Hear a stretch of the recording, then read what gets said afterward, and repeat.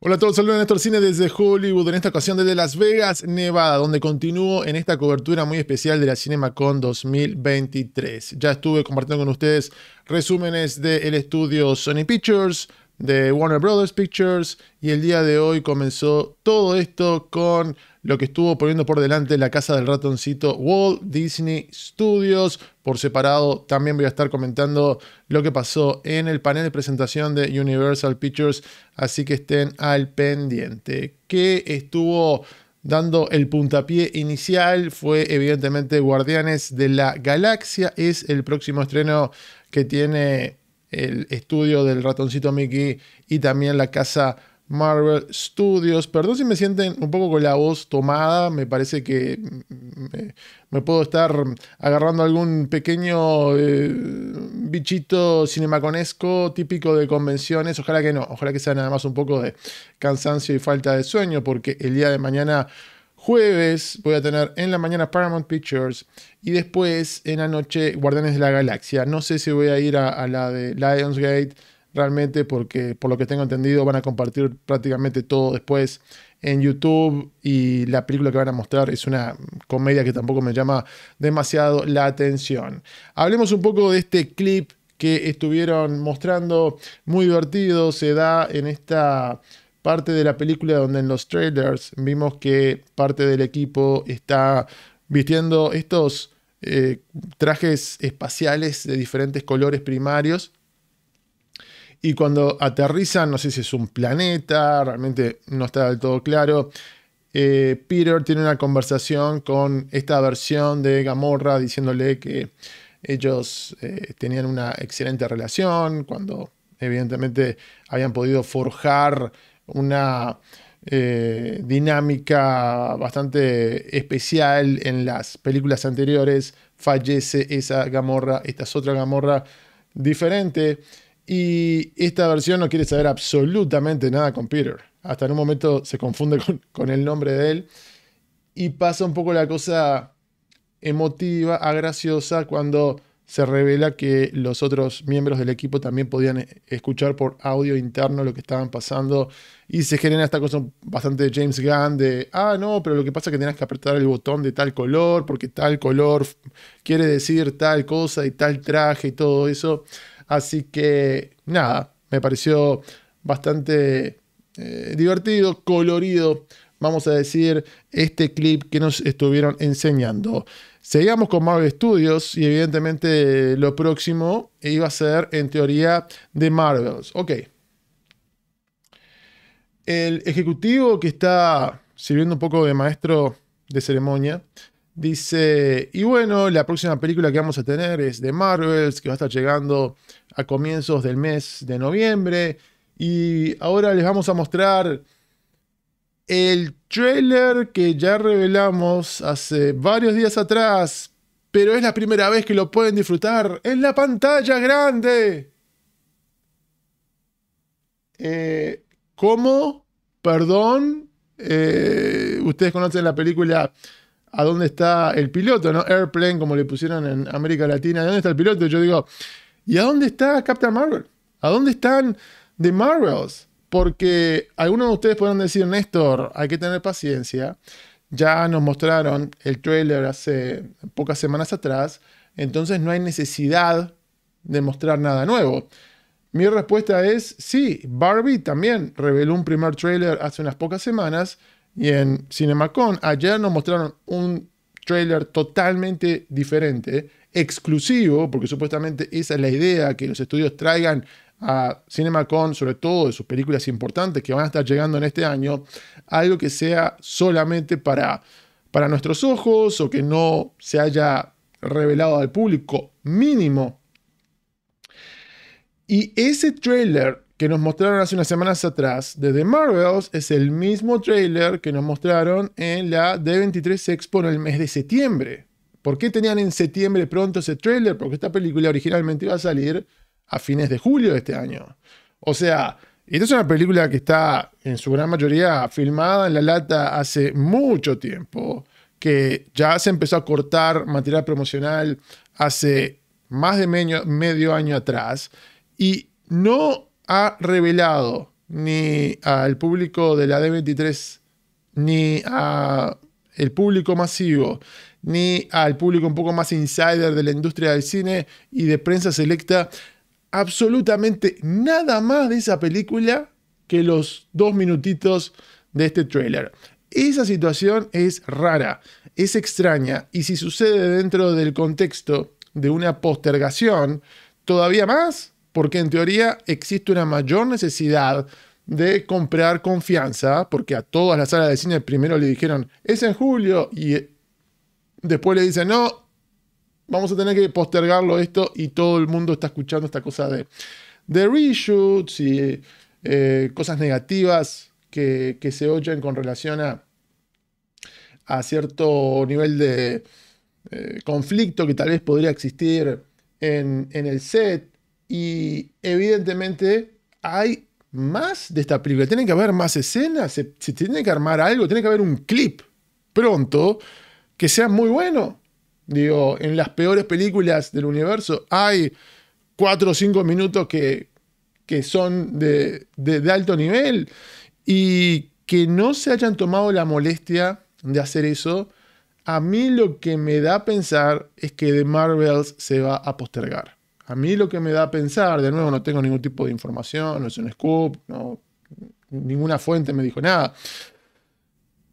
Pero evidentemente hay algo extraño que está pasando con esta película. Tal vez sale en noviembre, termina siendo la mejor película de las 30 y pico de Marvel Studios. Yo la pongo en mi, no sé, top 3 o lo que sea. Ojalá que sea el caso. Le deseo el bien como le deseo el bien a todas las películas que salen pero no me pueden pedir que yo compre confianza cuando todo lo que veo que está sucediendo alrededor de esta cinta me genera absolutamente lo opuesto y la oportunidad de hoy.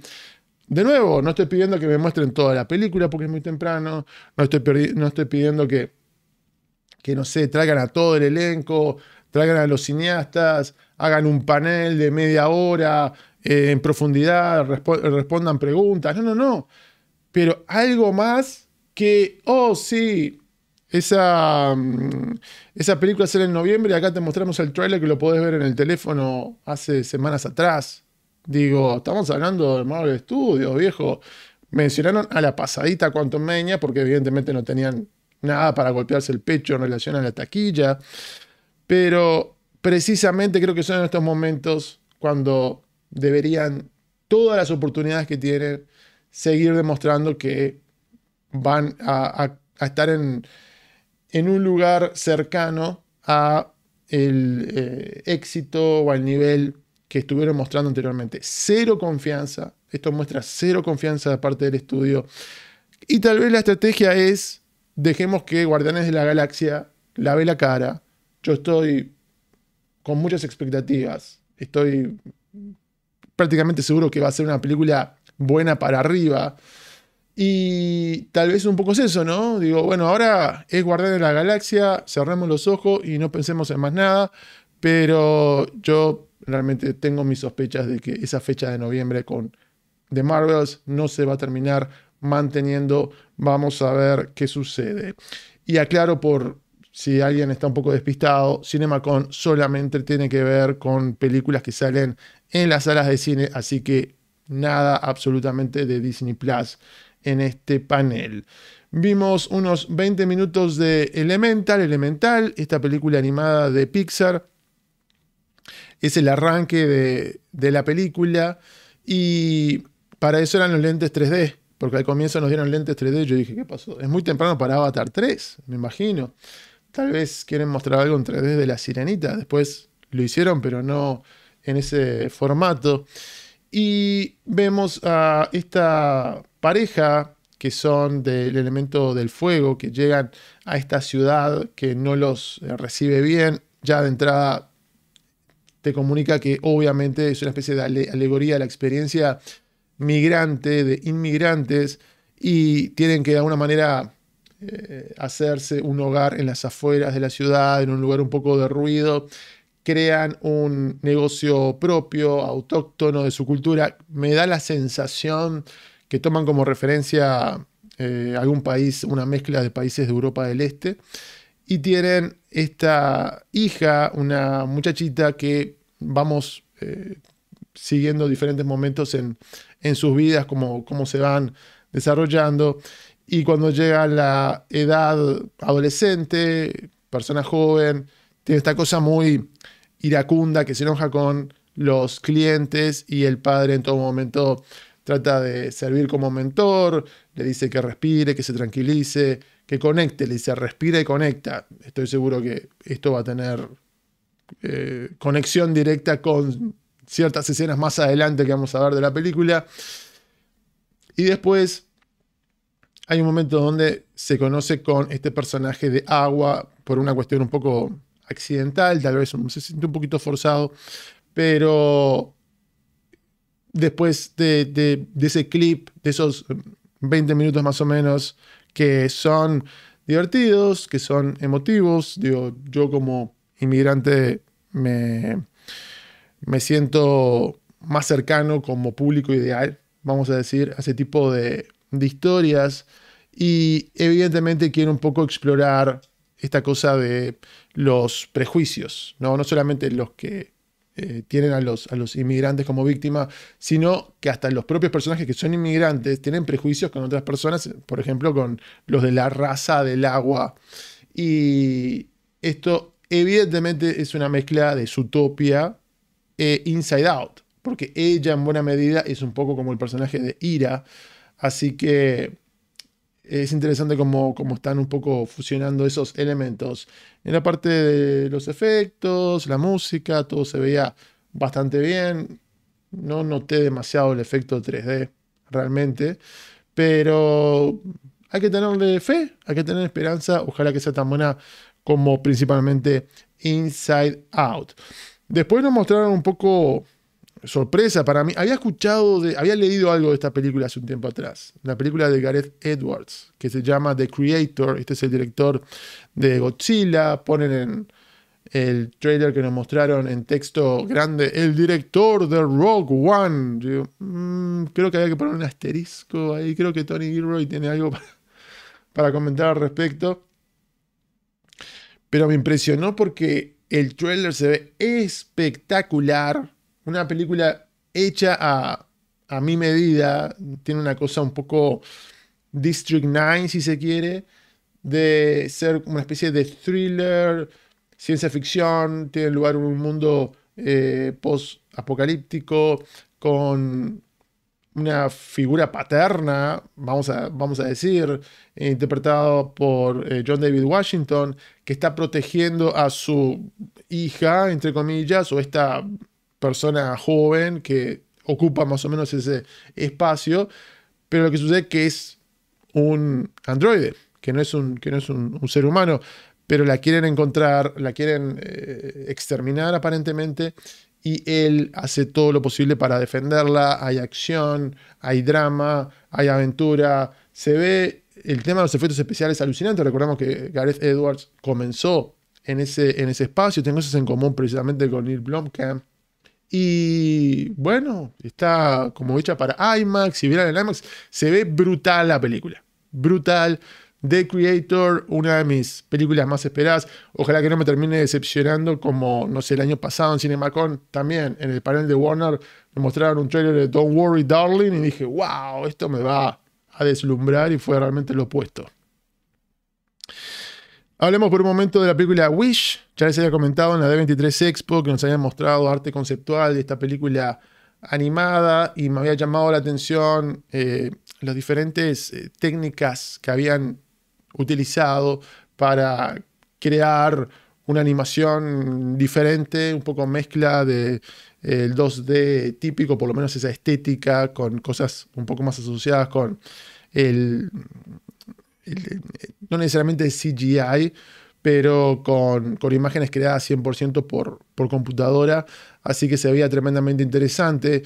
Y es también un eh, musical que cuenta con la voz de Ariana DeBose, que en D23 eh, tuvo la oportunidad de, cantar para nosotros una de las canciones principales de esta película. No recuerdo si era exactamente esta, pero canta esta, esta canción que por un lado en la manera que, está recitado por momentos, se siente medio moderno, se siente medio frozen, pero después en el contenido de la letra, bastante no sé si clásico es la, palabra, o conservador, de esta cosa de, oh, la persona joven que sueña con algo más en, su vida, ¿no? Con no vivir la vida pueblerina, en lo que sea. Que aprecio que Elemental no tiene eso. En Elemental, la, muchacha protagonista de Fuego sí quiere heredar el negocio de la familia, no tiene ningún problema de vivir afuera de la, de la ciudad, por lo menos al comienzo de esa historia. Así que la verdad que no me impresionó demasiado la canción y la parte de, la forma, creo que todavía tal vez en ese momento en la, en, la cinta no, no ha llegado a una parte un poco más deslumbrante. Hablemos de la sirenita, la bella, la bella y la bestia. La sirenita, ya estoy un poco cansado. Estás pegando duro, Cinemacón. Hay mucho, como dije en Twitter, mucho escepticismo alrededor de esta película. Hay gente que le está dando palo desde que se confirmó que iba a ser un live action, más cuando eh, salieron las noticias de un casting eh, más diverso, inclusivo y también habrá que decirlo, más allá que haya una cuestión de inspiración de, oh, el el creador de todo esto era de esta zona norte de, Europa, de Escandinavia, pero evidentemente en la versión de Disney que tuvimos eh, está en una zona caribeña, ¿no? Entonces, que bueno, que tengamos una, una, sirenita que no sea pelirroja, no debería encender demasiadas emociones, ¿no? Es el año 2023, tenemos la película animada, que no le guste, no hay ningún problema. Pero bueno, esta, esta cosa un poco muy enardecida de por qué tenemos eh, animales mitológicos que representan diferentes razas. Ok, no nos eh, sumerjamos en esas aguas un poco eh, oscuras y tóxicas, pero el hecho es que llega este clip que nos mostraron de la sirenita y Melissa McCarthy, creo que fue la única estrella, la, única actriz de Hollywood que, que llevaron. Y fue, de, alguna manera, una presentación muy mezquina la de Disney. Estamos hablando que es un estudio clave para las salas de cine. Obviamente llegaban un poco inflándose el pecho con el box office de Avatar segunda parte, pero prácticamente no llevaron a nadie. No llevaron a ningún cineasta, no bueno, no trajeron a ningún artista para que saliera sobre el escenario, no, como que no hubo esfuerzo realmente, no hubo nada realmente especial para, para CinemaCon. Voy a comentar en otro momento de Indiana Jones, pero eso ya lo habían mostrado, ese clip que nos mostraron nosotros en la Star Wars Celebration. Así que, bueno, había que conformarse con lo que había y por eso se me complicó hacer el live tweet, porque cuando uno está cubriendo, ¿no? Te muestran algo y después necesitas unos minutos que alguien está hablando de la película o lo que sea para escribir algo que tenga sentido, mandarlo y procesar, ¿no? Y escribir, hacer notas y todo. Pero acá como era solamente una persona, no había ningún tipo de demora, era súper rapidito todo, así que eh, perdona a los que estuvieron siguiéndome en Twitter y no, no pude lanzar la cantidad apropiada de contenido. Me causó una muy buena impresión este clip. Melissa McCarthy como Úrsula creo que es un excelente casting. Sé que algunas personas se quejaron porque en, la versión animada una, artista drag, una drag queen, había servido aparentemente de inspiración, pero creo que dadas las circunstancias, una actriz eh, conocida y que tiene que dar cierto tipo de nota en la parte no literal, teniendo experiencia de comedia y pudiendo hacer eh, algo que resulte divertido, que, entretenido y que pueda ser una villana y que también pueda más o menos cantar, que ese es el caso y la escuchamos cantar en este eh, clip porque es la primera vez donde se encuentran estos personajes y Ariel hace este trato con ella para que le dé la posibilidad de que se convierta momentáneamente por lo menos en un ser humano, le pide que le, le entregue la voz y todo eso. Y en la parte audiovisual se vio muy cool, se vio totalmente terminado, está un poco en penumbra para que se noten más los tentáculos, la parte de abajo del tentáculo que, es un poco como una luz de neón. No sé si ya ah, se ha publicado esto online o no, pero el número musical, cómo lo actúa Melissa McCarthy, todo funciona. Realmente, por lo menos creo que la villana va a funcionar. Vamos a ver si el resto de la película también puede hacerlo. El look de Sebastián, que ya ha salido en los posters y eso, no sé, tal vez eh, me esperaba que fuera un poco más antropomórfico, pero bueno, es un poco complicado. Tenemos que seguir con la próxima película. Algo que me llamó la atención fue que la nueva película del personaje de Poirot, Poirot, Poirot, como le decimos en, criollo, de Agatha Christie, interpretado versión por el señor Kenneth Durana, que también dirige estas películas, iba a ser un Hunting en Venecia, a Hunting in Venice, y sí, ya tenía entendido que podía tener un elemento un poco más oscuro, si se quiere, pero el trailer que ya lo pueden ver online en internet es directamente de terror. ¿no? Parece un trailer del conjuro con estos momentos hasta cliché de la persona que va al baño y cierra, abre el espejo y hay un fantasma atrás y todo eso. Y Kenneth Branagh dice, vamos a tener que enfrentar a nuestros fantasmas reales o imaginarios. En esta presentación nos dijeron que alguien va a morir en este seance, en esta sesión de espiritismo. Y bueno, un sabor totalmente diferente. Es cierto que Agatha Christie también inyectaba a ciertas novelas algo particular, un subgénero, pero no, no sabía a priori que iba a ser directamente un misterio de horror inspirado en, otras, eh, en otra novela que no se llama, que no es de, este título. Tenemos que hablar, muchachos, de lo que fue Indiana Jones. Tan, tan, tan. ¿Por qué? Porque nos mostraron un clip, una escena que durará tal vez entre 5 y 10 minutos más o menos, que como decía recién la mostraron en Star Wars Celebration y super cool, muy Indiana Jones. No sé si están en Turquía, en Marruecos, una locación similar donde tenemos una escena de persecución, Indiana Jones, su hijada Helena, Elena y un niño que es chofer de estos eh, carritos motorizados que están intentando hacerse de precisamente el McGuffin de la historia, el que lleva el subtítulo de la misma, que es The Dial of, of Destiny, y que el personaje, el nazi, interpretado por Matt Mikkelsen, se ha hecho con él, entonces lo están persiguiendo a él, pero al mismo tiempo hay unos personajes, unos matones que la están persiguiendo a Helena, supuestamente por alguna cuestión sentimental, amorosa, lo que sea, hay alguien, hay un personaje que está interesado en ella, y los persiguen a, Indy y, a esta mujer.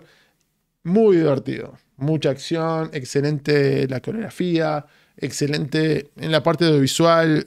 Evidentemente hay muchos efectos, eh, mucho CGI, pero no se nota para nada, está totalmente bien integrado, invisible y mucho práctico, mucho práctico, ¿no? Este, eh, chocan diferentes vehículos y hay gente que, sale colgada por ahí y salta un, e, un doble de acción para el, para el, auto y esto para acá y esto para el otro, tremendamente dinámico.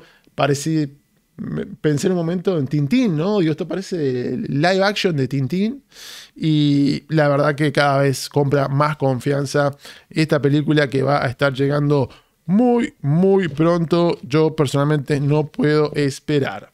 Después de esto, tuvimos la oportunidad de ver algo de Haunted Mansion. Haunted Mansion, pero es exactamente lo mismo que me mostraron en la 23 Expo y que en su momento les, les había comentado. Creo que lo más interesante es que tiene como un ADN muy, muy Tim Burton. Muy Tim Burton y esta mezcla, este balance perfecto entre algo que pueda funcionar con, toda la familia, con los más pequeños de la casa, pero que también muestre un poquito de diente, ¿no? A la hora de el horror, de la cosa fantasmagórica, de algunos personajes espectrales que, imponen, que tienen una presencia bastante, perdón, bastante eh, importante, vamos a decir, pero evidentemente quiere caminar esta línea un poco de aventura. Precisamente el ejecutivo de Disney dijo, oh, esto va a ser eh, un rival para Piratas del Caribe, ¿no? Porque evidentemente las dos películas son inspiradas en juegos, atracciones, rides del parque de Disneyland. Y creo que va a ser una, aventura con eh, comedia, con acción y de nuevo con un toque de horror que puede terminar siendo bastante satisfactoria. Algo más que les quiera comentar después de todo esto. No sé si les dije. Oh, sí. Vamos a tener que hablar de la película de Searchlight, Searchlight Pictures, que es eh, Next Goal Wins. Esta es la película dirigida por Taika Waititi, protagonizada por Michael Fassbender, basada en hechos reales de esta isla de Samoa. Creo que hay dos Samoas, no, no recuerdo cuál Samoa, perdón, no, estoy para, para dar la prueba de geografía, pero que históricamente perdió en las clasificatorias para, para una competencia por un marcador inaudito y nunca había hecho un gol. Entonces un poco la historia es de este entrenador de fútbol europeo que le dan la selección para ver si por lo menos pueden hacer un gol, ni siquiera clasificar. Y el trailer funciona, son diferentes eh, momentos eh, divertidos, graciosos. Yo igualmente no he escuchado cosas positivas de esta película. Digo, está en noviembre, no sé si hay una expectativa de llegar a premios, ojalá que lo que yo he escuchado no se materialice o si hay algún, eh, algo de razón que hayan tenido tiempo de cambiarlo, pero yo creo que funciona el trailer, hoy por hoy no compro demasiada confianza por, por ahora. Y lo interesante de Searchlight es que no mostraron Magazine Dreams, que es la película del el señor eh, Jonathan Majors y evidentemente ya está causando efecto, ¿no? Porque estoy seguro que estaba en los planes iniciales de Disney incluir esta película que iba a salir en diciembre y que iba a estar compitiendo por premios. ¿La terminarán sacando? No lo sabemos, pero no la mencionaron en lo más mínimo el día de hoy para las salas de cine, así que implícitamente están diciendo que no va. Magazine Dreams, hoy yo por lo menos asumo que esa película no va a salir en cine, tal vez la patean en julio, más adelante, quién sabe.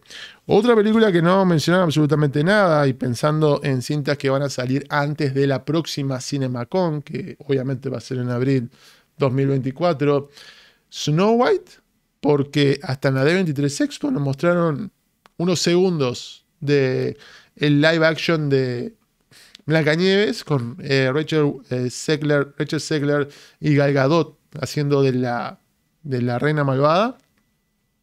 Acá ni se mencionó esa película, ni tampoco no vimos nada nuevo de Helio, la película de Pixar, que en la D23 Expo nos habían mostrado por lo menos un arte conceptual y nos contaron un poquito la historia, que es como una aventura intergaláctica y todo eso.